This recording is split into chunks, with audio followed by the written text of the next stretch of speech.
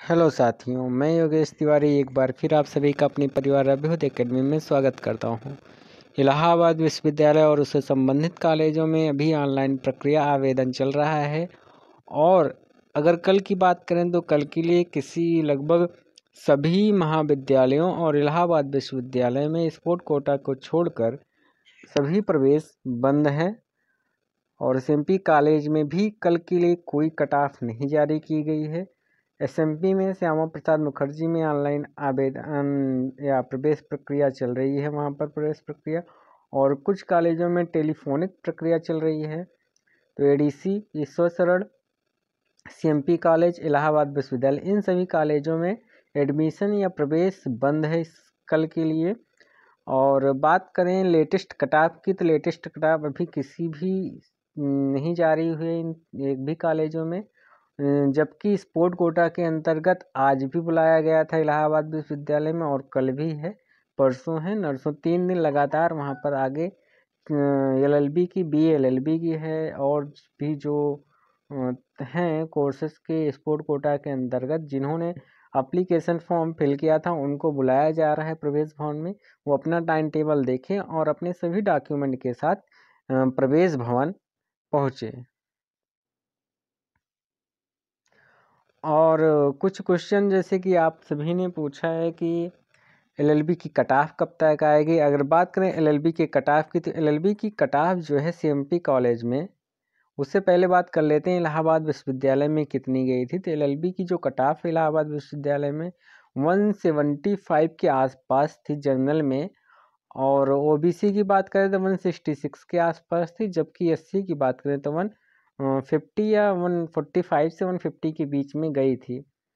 और जबकि CMP college में भी मान के चलो इससे दस या पाँच नंबर कम ही होगा। अगर इसकी बात करें तो सीएमपी कॉलेज में यहाँ पर जहाँ तक उम्मीद है कि वन सिक्सटी फाइव के आसपास होने वाली पहली कटाफ और यहाँ पर वन सिक्सटी सिक्स है तो वन फिफ्टी फाइव मान चलिए, वन फिफ्टी फाइव होने वाली यहाँ पर कटाफ और इसकी भी वन फोर्टी फाइव के या वन फोर्टी प्लस ही होने वाली है।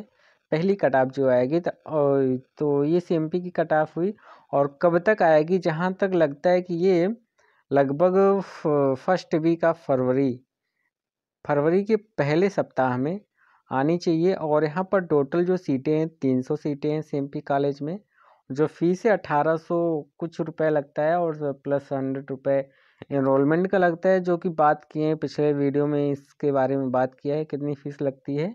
तीन सौ सीटें हैं तो इसके हिसाब से कट ऑफ़ आलमोस्ट तो अगर गिरनी होगी तो काफ़ी गिरती है।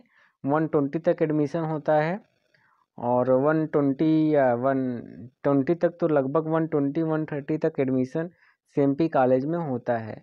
तो उम्मीद रखिए कि अगर वन थर्टी प्लस है, वन ट्वेंटी प्लस है तो उम्मीद है कि आपका एडमिशन किसी भी कैटेगरी में हो तो हो सकता है, चांस बहुत ज़्यादा है होने का। वन थर्टी प्लस है तो अगर उससे कम है तो चांस सीट के ऊपर डिपेंड करता है, बच्चों के ऊपर डिपेंड करता है कितने लोग एडमिशन लेते हैं, नहीं लेते हैं, इन सभी के ऊपर डिपेंड करता है कि कट ऑफ़ कितनी जाने वाली है, कितनी रहने वाली है। और अब ऑनलाइन क्लास की बात करें कि जिन्होंने एडमिशन अभी तो यूजी और पीजी का एडमिशन ही चल रहा है तो फ़र्स्ट ईयर का। यूजी और पीजी दोनों का एडमिशन फ़र्स्ट ईयर में चल रहा है तो क्लास कब चलेगी इनकी?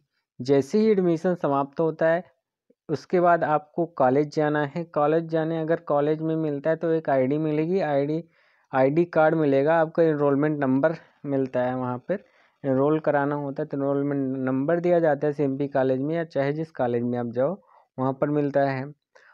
उसके बाद आपको सूचित किया जाएगा एडमिशन मतलब कब से आपको टाइम टेबल दिया जाएगा, जैसे कि अभी सेकेंड ईयर, थर्ड ईयर वालों का चल रहा है क्लास तो उसी प्रकार आपको भी एडमिशन देने के बाद इनरोलमेंट होने के बाद आपको सूचित किया जाएगा, वेबसाइट पर आपको सीएमपी कॉलेज में मिल जाएगी कि कब से आपकी कॉलेज या नोटिस जारी की जाएगी, कब से आपकी क्लासेस चलेंगी। उसके लिए आप जैसे स्टूडेंट यहाँ पर कॉलम है तो स्टूडेंट कॉर्नर में जाएँगे, टाइम टेबल पे जाएँगे। टाइम टेबल आपको वहाँ पर दिखाई देगा कि कब कब, किसका किसका।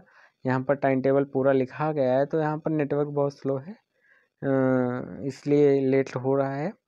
और यहाँ पर आ गया है कि टाइम टेबल कहाँ, साइंस ग्रुप का कब है, आर्ट ग्रुप का कब है, ये बीस, इक्कीस, बाईस का है, इक्कीस, बाईस का है। बीस इक्कीस का है, पिछले सेशन का है, इस सेशन का है, पूरा यहाँ पर आपको टाइम टेबल दिखाई देगा।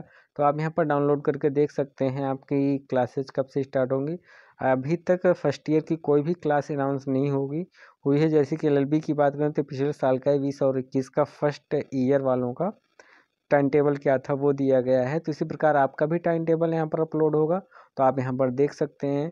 या नोटिफिकेशन जो आपकी शो होती रहती है वहाँ पर भी आप देख सकते हैं नोटिफिकेशन में कि ये जो नीचे आप जाएँगे यहाँ पर, ये लेटेस्ट न्यूज़ में है कि यहाँ पर भी आपको शो होगा कि आपकी ऑनलाइन क्लास कब से स्टार्ट होनी है। उसके लिए आपको सिर्फ़ यहाँ पर आप ऊपर जाएँगे तो यहाँ पर सीएमपी लाइव दिख रहा है तो यहाँ पर क्लिक करेंगे। यहाँ पर क्लिक करने के बाद आपको दो कॉलम दिखाई देगा। एक तो आपको दिखेगा वहाँ पर स्टूडेंट लॉगिन और एक दिखता है स्टूडेंट लॉगिन और एक टीचर लॉगिन स्टूडेंट लॉगिन में जाएँगे, वहाँ पर अपनी इंटरव्यू लॉगिन आईडी और पासवर्ड दिया गया ये डालना है तो यहाँ पर लिखा गया इंस्ट्रक्शन में कि during first time log in student must use their enrolment number, UGET number, PGET number, as, login ID and password. Both दोनों के लिए आपको लॉगिन आईडी चाहे पासवर्ड हो, वहाँ पर आपको enrolment number, UGET number, PGET number डालना है। और उसके बाद जैसे लॉगिन करते हैं तो अपना पासवर्ड चेंज कर सकते हैं और अपनी ईमेल आईडी और मोबाइल नंबर भी अपडेट कर सकते हैं अपने प्रोफ़ाइल में। और students should attend their classes at पर टाइम टेबल के हिसाब से अपनी क्लास अटेंड करनी है। या आपको कैसे ऑनलाइन क्लास लेनी है, इन सभी के बारे में जानकारी यहाँ पर आपको दी गई है। तो आपको वीडियो अच्छा लगा हो तो वीडियो को लाइक करें, शेयर करें अपने दोस्तों के साथ। और एक बात, जैसे आपको कोई भी समस्या हो, कमेंट करिए, कमेंट का उत्तर या कमेंट में दिया जाएगा, या वीडियो के माध्यम से दिया जाएगा। जैसे कि कई लोग पूछ रहे थे ना, एलएलबी की कट ऑफ़ उन सभी के बारे में बता दिए हैं, और कोई भी डाउट हो उन सभी उन सभी को आप कमेंट करिए। नेक्स्ट वीडियो में आपके सभी कमेंट लिए जाएँगे, जो भी आपको डाउट हो।